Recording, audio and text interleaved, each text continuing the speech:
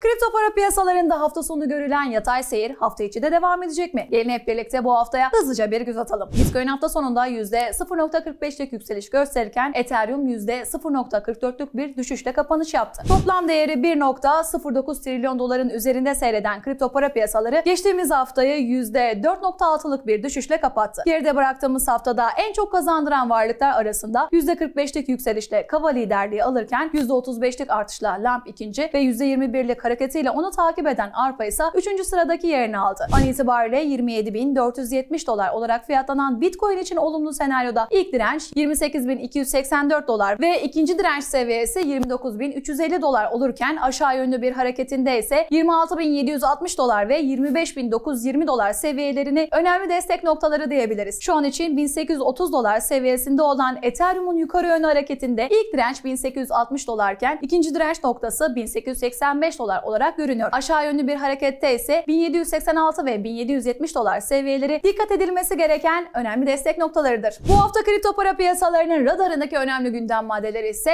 şöyle. Çarşamba günü Euro bölgesi enflasyon verisi beklenirken Perşembe günü ABD Temsilciler Meclisi Finansal Hizmetler Komitesi'nde stablecoin'lerle ilgili oturum düzenlenecek. Cuma günü ise FED Başkanı Powell'ın konuşması takip edilecek. Piyasanın aradığı yanıtlar için. Bitay Türkiye'yi size takip edin. Görüşmek üzere. Hoşçakalın.